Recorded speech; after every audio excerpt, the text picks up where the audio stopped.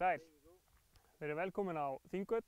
Ég heiti Torfi Stjón Jónsson og er landurur hér í þjóðgarðinum.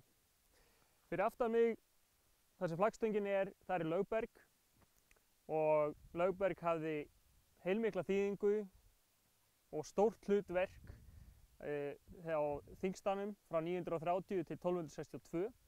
Þar stóð lögsögumæðurinn uppi og kallaði ávarpaði laugin niður til fólksins sem stóð hérna á sléttunni rétt fyrir neðan. Einni mátti hver frjáls bóndi standa uppi á lögbergi og segja sína skoðun.